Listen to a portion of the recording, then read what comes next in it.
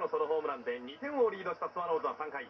ランナー2人置いてベイスターズ先発五十嵐からオマリーがライト場外に消える特大の19号スリーラン。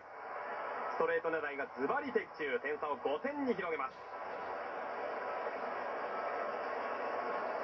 3回までスワローズ先発岡林にヒット1本に抑えられていたベイスターズは4回。4番ブラッグスが詰まりながらもパワーでレフトスタンドへ放り込む10号ソロホームラン。反撃の口火を切るかと思われました。しかしスワローズは5回一塁にジョーを置いて池山。ミートを心がけたこの試合3本目のヒットは実に30試合ぶり。お久しぶりの4号ツーラン。7対1と大量リードを奪います。そして9対2で迎えた6回裏スワローズはヒットとフォアボールでノーアウト1塁2塁のチャンスに古田がレフトへタイムリーツーベース。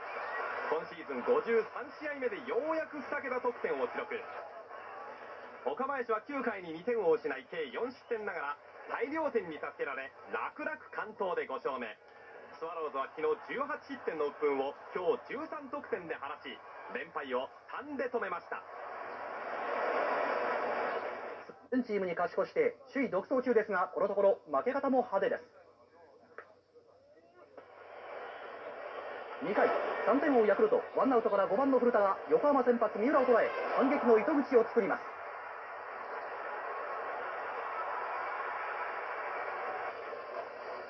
6番の畑は得意の流し打ち。1点を返します。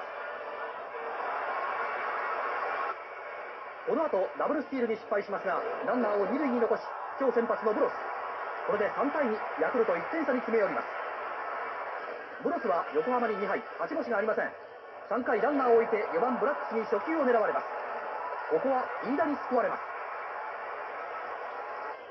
ブロスは続くローズに打たれ三塁一塁のピンチ。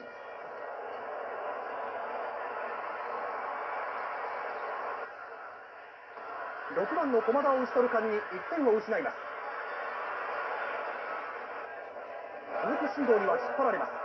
今日のブロスは5点を失い今シーズン最も短い3回で早々とマウンドを降ります。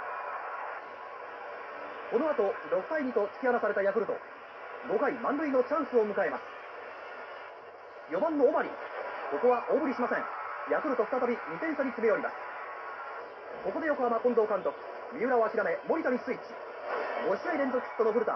森田を攻めきれず同点のチャンスを逃します。ヤクルトは2人目加藤から6回。3人目の池田を送りました。しかしブラックスに決定的な2点タイムリーを浴びます。ヤクルトまた打線の勢いが弱まり今日は中継ぎ投手陣の不在につけ込まれて大敗でしたやっぱりね、気合が入ってましたね。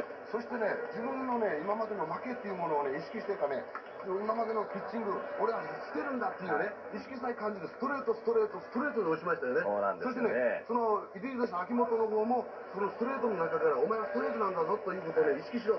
そこから、ピッチングとお前のピッチングが始まるんだぞっていうぐらいのね、バッテリー間のね、無言のストレートだけの会話がありましたね。そうでしたよはいね。何しろエースらしいピッチングをね、させてやろうって秋元はね、思ったらしいんですが、その人、12球目までフォーク投げなかったんですね。まあ、頑固だったですね。ねはい立ち上がり無難にこなしました斉藤隆さあ4回の横浜の攻撃ですワンアウトから鈴木がヒットで出塁しますマウンド上は中6日吉井でした。ブラッグスを迎える場面ですがこちらもねいいピッチングでしたね。本当にね、ストライクはいつでも取れる、自分の組み立てを自在にできる、はい。そして狙ったところにきっちり投げれるっていうね、吉井がいいピッチングだったですね。その中の落とし穴がこれだったかもしれませんね。ローソン手なしいからツーストライクからなんですよ。で、ランナーを置いてる鈴木にもツーストライクからなんですね。はい。ですから少し自分のピッチングに酔いしれたところで、これ見てもらって分かる。ように、もう古田が見て、ここでいいんだよ、ボールでいいんだよっていうのを指示してるんですよね。はい。ですからちょっと自分に酔いすぎたかなっていうボールだったんですね。12号ツーランホームラン横浜が先制をいたしました5回のワンアウトまで斉藤隆パーフェクトピッチングでした古田これが初ヒットうん、ここまではね、本当に素晴らしいピッチングだった。ノーヒットノーラン行くんじゃないかな。ねえ崩れるのって嘘だろうっていう感じのね、ピッチングだったですよね。初めてのセットポジションそしてここでね、セットポジションになった時にね、少し不安がよぎったんですよね。バランス崩しましたね。今まで負け投手になってるっていうのね、不安ですよね。しかしここはね、力いっぱい投げてる結果がね、運を突き、ね、呼んできたというねこんな感じでしたよね、はいさあ、ホームランは打たれましたが、吉井の方もベテランらしいいい味を見せます。この鈴木に対するんですが、これ、初球、2球目とこれ、ボール、ボールっていくんですが、これはね、やっぱローズにホームラン、ツースのアスから打たれたということで、ベンチに帰って必ずこれは注意されましたね、うんストライクを揃えすぎるな、ボールもっとうまく使えっていうところでね、それで組み立てを変えてズバッときた、それで若い鈴木は読めなかったっていう、ねはいピッチングですよね。三振に切って取っております。さあ、回はご覧のように進みまして、9回です。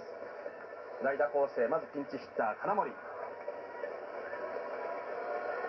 粘って8球目。素晴らしい当たりですよ、レギュラーのね、斎藤隆に1安打でしょ、ええこれはね、ピンチヒッター、妙に尽きる当たりですよ、うん、もうね、レギュラー打てないピッチャーを打てた時のピンチヒッター、最高ですよね、これ、ヘッドスライディングする気持ちわかります。よ、はい。やった、やった、やった、そうですよね。ムードも良くなりまありまして、三塁進みまして、ここでピッチャー交代。